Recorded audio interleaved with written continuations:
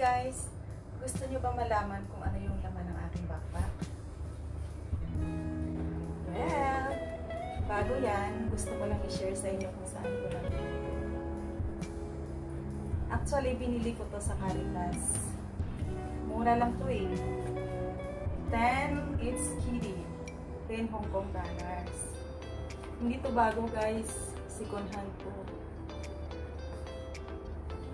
Kaya ko naging habit yung pagbili ng item sa Caritas kasi mura na, nakakatulong ako sa condition. Dapat yung mga item sa Caritas, pinamimigay na lang yon. Yung ginagawa naman ng foundation, binibinta nila. Tapos, yung kita, tinutulong din sa nangangailangan. Tara, samahan niyo ako. Pakita ko sa inyo kung ano yung laman ng aking backpack. Gusto gusto ko to eh. Maliit lang pero maraming bulsa. Kaya organized. Maayos ko talaga yung gamit ko. Natin sa bulsa. Oh. Ito, mayroon ako maliit na wallet. Binili ko rin po sa Caritas for $10. Di ko dito ko nilalagay yung aking octopus card. Napaka-importante nito. Ito yung ginagamit ko pag sumakay ng minibus, ng bus, MTR. Minsan ginagamit ko rin to sa groceries. Lalo na pag mahaba yung pila. Pumupunta ako sa self-service octopus counter para ako lang magbayad. Siyempre kasama din dito yung papel. Napakahalagang papel. Dito nakalista yung pangalan ko, yung address ko dito sa Hong Kong, yung number ko, number ni Ako, at pangalan ni Amo. Sa likod naman, nandito yung aking PUK code. One time kasi nalak yung cellphone ko sa katangahan ko. Kaya meron PUK code. Sa other side naman, Ganda to eh, tatlong division. Nandito naman yung aking card para sa building namin.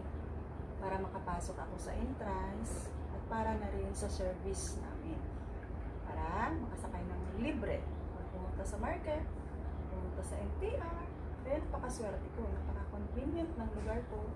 Libre pa yung service. Ha? Mabait pa yung amo ko. Oh, meron pa. Siyempre, meron akong band-aid. Kaya ako may band-aid kasi mahilig ako maglakad, lalo na pag holiday ko. Minsan, napasarap yung lakad ko, napapaltos na yung paa ko, kaya dalaga lang ko rin to.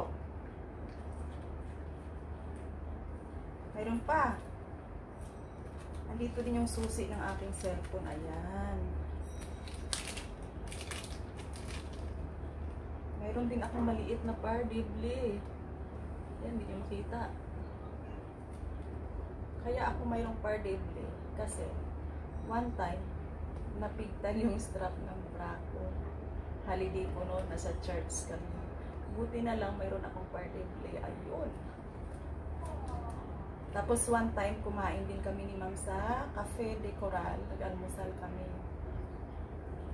Tinanggal ko yung face mask ko.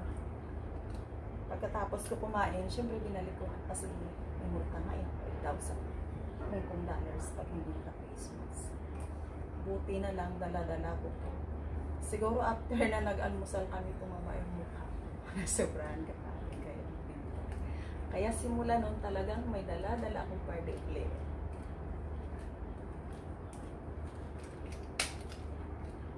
Okay. Balik na natin. Ito yung unang box na niya.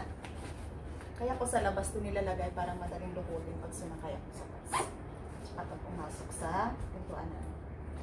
Ito naman yung pangalawang pulsa. Ito lang yung diferensya eh, kaya bininta. Wala yung zipper puller niyang labit. Ayan. Pero original siya. Ano to? Kid green. Okay, dito tayo sa pangalawang bulsa.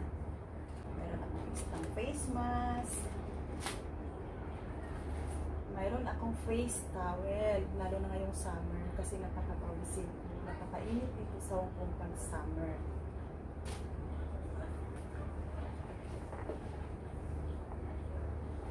Mayroon din akong shades. Nabili ko rin to sa Caritas for $20. Maselan kasi ako pag mainit, pag um, ano yung araw, masakit yung mata ko.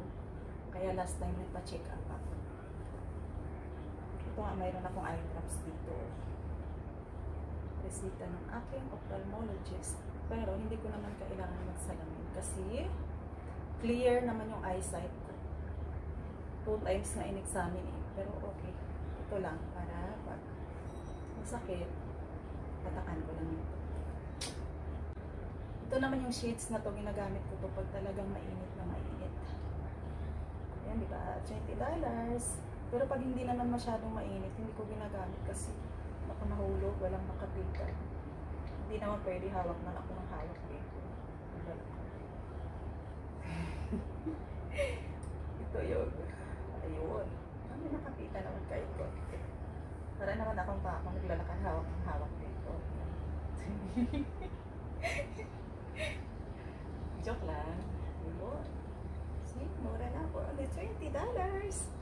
Caritas din ito. May kasama pang lagayan. Pang old fashion na lang. Pero okay na. Wala na. Next naman, buksan natin yung loob. Ayun. Suspense muna kung ano yung laman ng loob. Ito naman yung laman ng loob. Charan! Another pouch na naman. Binili ko rin to sa Caritas for only 5 Hong Kong dollars. Ayan, may nakasulat na pangalan Jessica. Pero kay Priscilla to akin to. Wala kasi akong mahanap na Priscilla ang pangalan. Ganda, di ba? For only $5. Girl na girl. Ito lang yung available color. Ah, buksan natin ha, kung ano yung naman. Ang kikay-kikay ni ate guys. Siyempre girl tayo. Tsaka medyo bata pa. Kaya may baon tayo napkin. Meron din tayong maliit na supply. Minsan ayos-ayos din. Bago mag-pictorial, bago mag-selfie. Ayun. Mayroon din akong dry tissue. Kaya nakatupi yan. Kinuha ko lang sa box tissue namin. Pili na rin pampunas ng pawis, pampunas ng laway. Magpapagpun sa naluwa ito.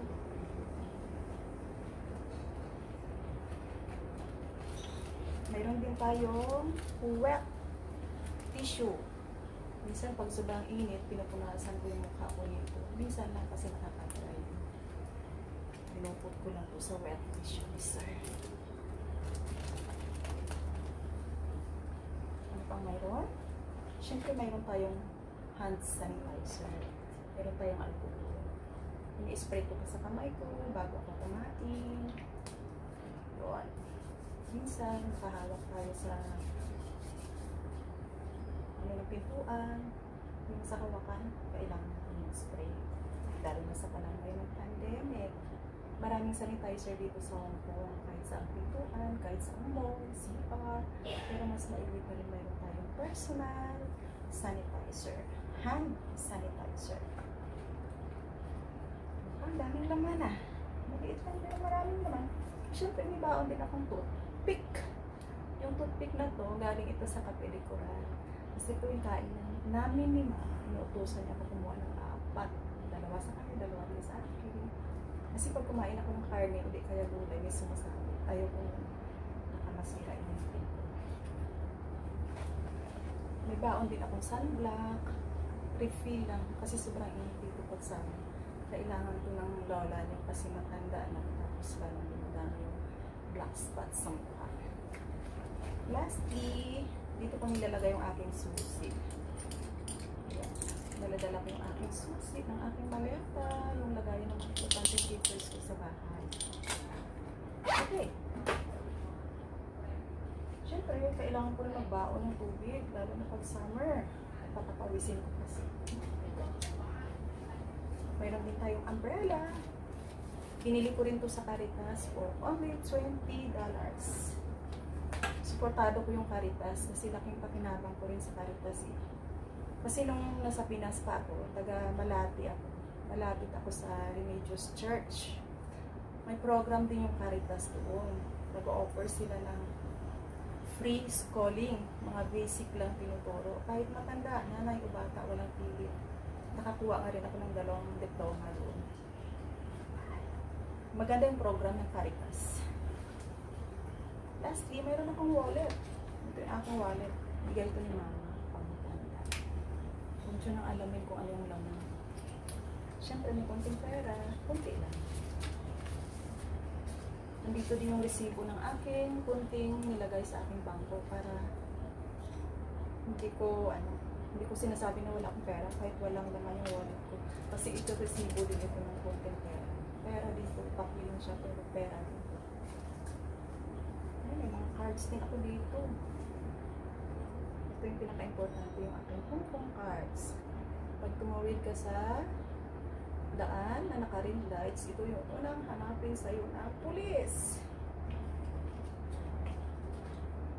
Ang matanda ng wallet ko kasi matanda ang magbigay.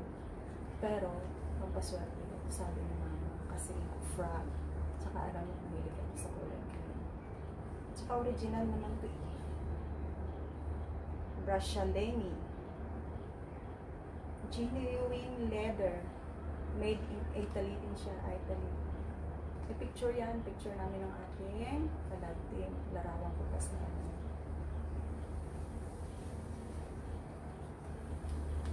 Yun lang, ayoko na ipakita kasi maraming spirito din. Maraming mga cards. Siyempre, mayroon akong karagdagang pops. Malaki. Simula na nagiging vlogger. Naging vlogger, vlogger ako. Mayroon na ako nito. Dati wala. Ito yung laman. Mayroon tayong power bank. Extension cord. Siyempre, madalagin tayong papel. Minsan hindi maiwasan may kailangan listahin. May nakadala tayong papel. Meron din ballpen. Parang estudyante. Ang hirap pala maging vlogger. Kailangan may dala-dala ganito.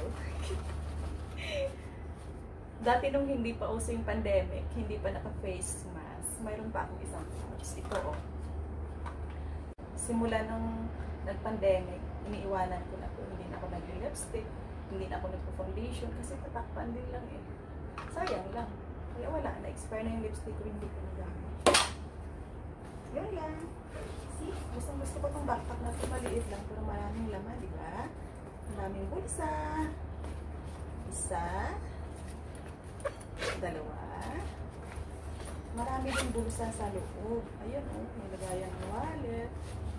Maraming bulsa yan, tatlo din. Napakaganda. Ang ganda pa ng kulay. Ito yung gusto kong kulay. Simple lang. Simple lang, pero maganda. See?